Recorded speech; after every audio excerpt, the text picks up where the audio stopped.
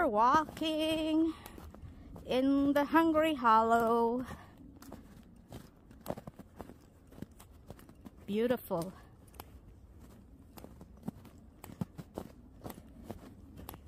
Look, this is the forest that we used. We walk, it's a hill. There you go. There's my two brothers. They already got ahead. But it's really a hilly, hilly, hilly walk. See? Going up. So you really have to slowly do it.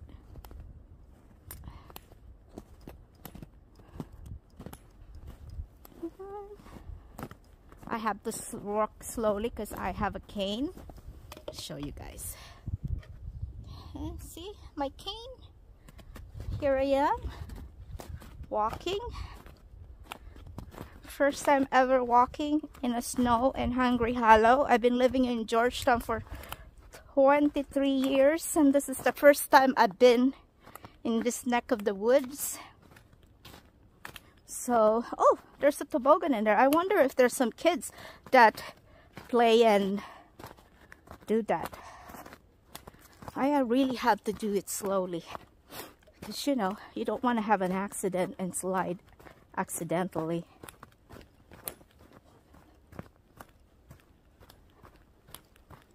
Yeah.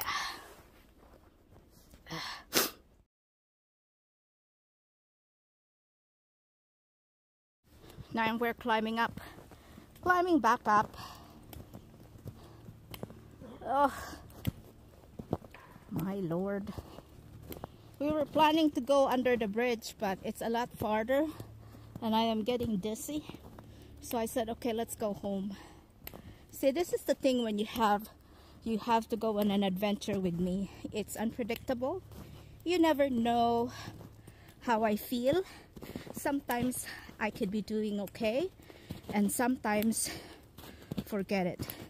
And all I did was just go down this hill and it throws me off really bad.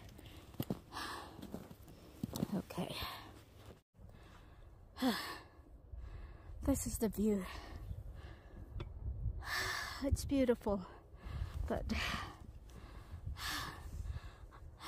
sit down. Look at my hair. Holy mackerel. I'm out of breath. Uh, oh.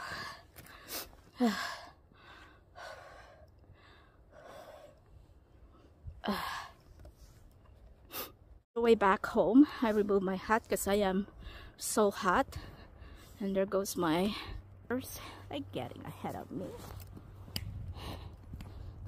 oh look at the squirrel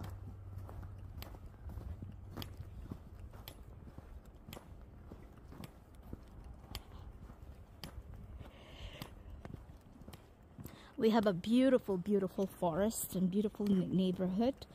We're in the middle of a beautiful subdivision but we're surrounded with forests so you could have homes but at the same time you can have natures just beside you.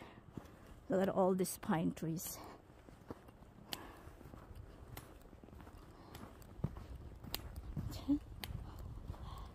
This that's the street where I used to live Okay. and that's an over 200 year old tree that fell through.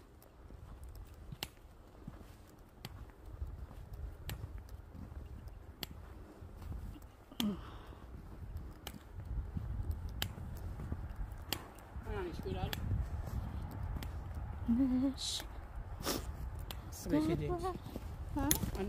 Is without. Mm. Now out the forest into the subdivision. So there you go.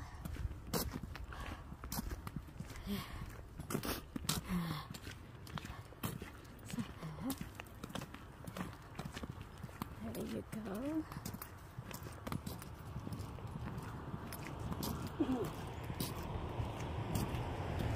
And there's the nature. There's the forest. We're on the way back home. in here, the mail doesn't get delivered in your house. It's get delivered on super mailboxes. Here, every home is assigned with its own number. And you take it out. Hmm.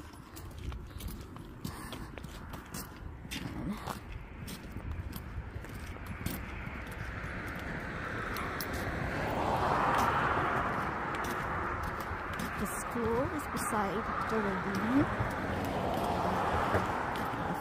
Tiny forest.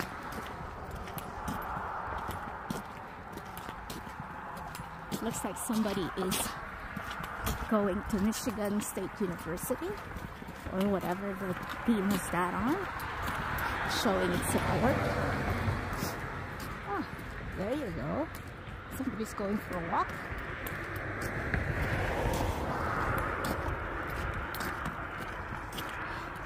this is where we used to live.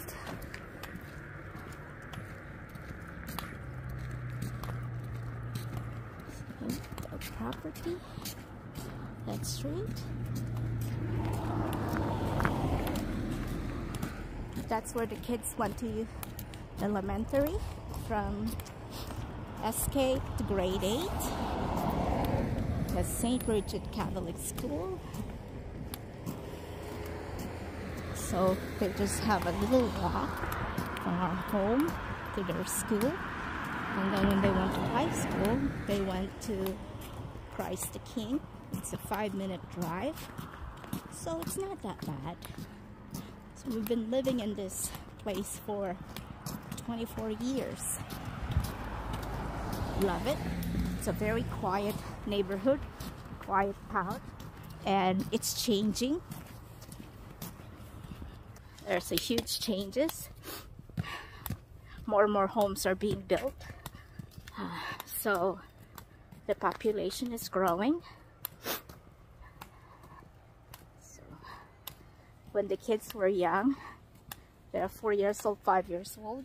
I used to push them in their stroller and we walk all the way here from our home to the park and they play. We used to bring some food, do a picnic and once they are done playing for a couple of hours or three hours, that's when we go back home. They take a nap and same thing sometimes I bring all the kids neighborhood neighborhood kids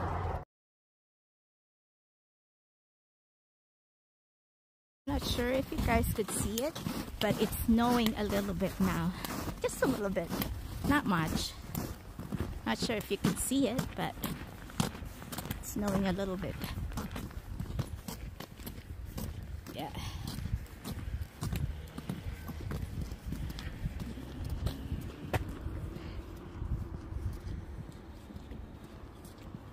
Go ahead, go ahead, go ahead.